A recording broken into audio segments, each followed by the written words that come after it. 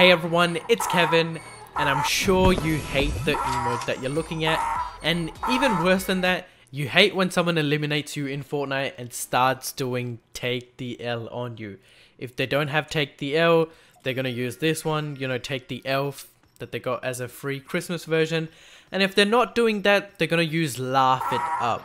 And this emote is probably the worst, most infuriating, rage-inducing emote that anyone can do on you when you're playing Fortnite. You know, you're just trying to have a fun game, and somebody comes there, slaps you, and then starts doing this dumb emote, starts laughing on you. This donkey laugh is just so, so, so annoying. And I know it can get really frustrating. It makes you want to rage quit. But now, Fortnite has added a way to turn off these toxic emotes. Literally, to turn these emotes off that you'll never see again in your game, even when someone, you know, eliminates you in the game, they won't be able to do this emote on you. So it's super simple. All you want to do is click on your profile, go to your settings.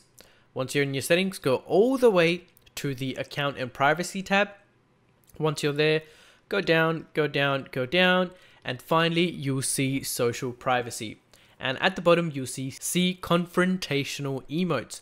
So first up, you can do from anyone. That means anyone who does these emotes, which is laugh it up, take the L, whip crack, and make it plantain. Uh, anyone can do that emote and you'll be able to see it. So I'm talking about in the game, in the battle royale game, in any kind of creative match, in anything, you will be able to see anyone who does that emote.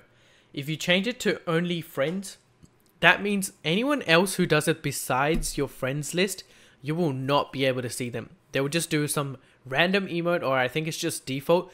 You won't even see them do a single emote.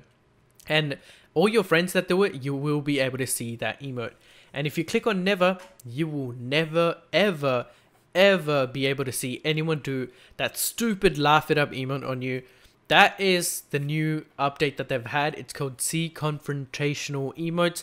It is actually, in my opinion, pretty good because I, I know, you know, you're meant to see it. It's the game's meant to be toxic. That's how the game runs. But sometimes, I laugh it up is the audio on that emo is just so goddamn annoying. Like that thing, that should have never been an emo. Whoever made that, I'm sure that guy, that guy's gotten fired from Epic Games. But goddamn, like that should have not been an emote. Like this is the most annoying emote that you will ever see. But that's how you turn it off. I'm gonna keep it on friends because you know why not? Giving giving friends a little bit of uh, a slap here and there is pretty funny.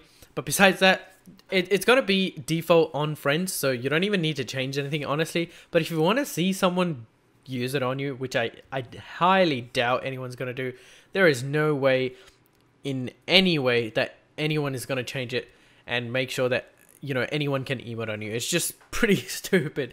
But yeah that's how you do it. You know sometimes you just don't want to see it. So i hope this video does help. Hope you guys enjoyed. Don't forget to subscribe like and comment on this video